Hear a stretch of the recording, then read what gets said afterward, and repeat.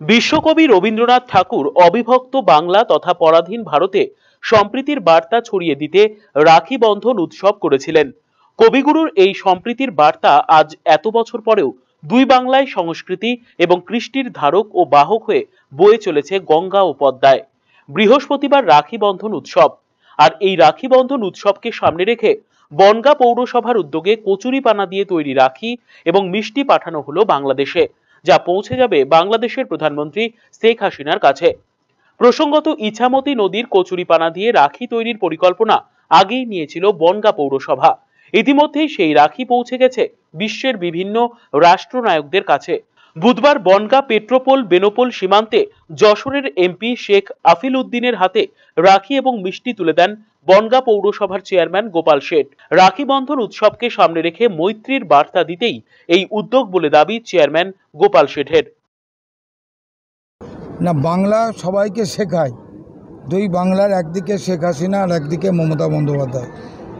এই দুজনের যে ভাবনা, যে মহিলাদের স্বনির্ভর করতে হবে এবং তার মধ্যেই মানুষের কাছে বার্তা দিতে হবে, সাম্প্রদায়িক সম্প্রীতি, সংহতির বার্তা দিতে হবে। আমরা ভারত বাংলাদেশের মৈত্রী, ভারত বাংলাদেশের যে ভালোবাসা, আমরা আপিল উদ্দিন সাহেব সবসময় পাই বাংলাদেশের প্রতিনিধি হিসেবে। তাকে সঙ্গে নিয়ে আমরা এই দুই দেশের সম্প্রীতির যে বার্তা, এক দেশকে এক দেশকে রক্ষা করার যে বার্তা, সেটা আমরা সমস্ত পৃথিবীর বুকে ছড়িয়ে দিলাম। আগামী দিনে ভারত থেকে বাংলাদেশে এই রাখি রপ্তানি হতে পারে, এমনটাই বার্তা যশোরের সাংসদের। যে এই যে রাখি বন্ধন, এটা আসলে শুধুমাত্র রাখি দিয়েই এইটা শেষ হয় না।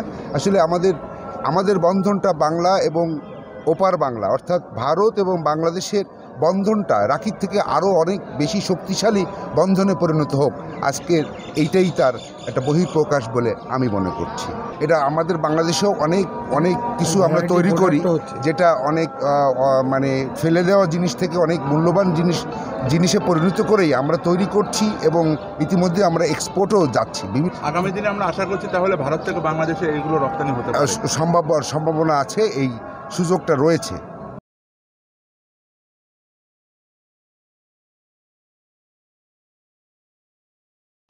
আরসিটিভি সংবাদ বনগা।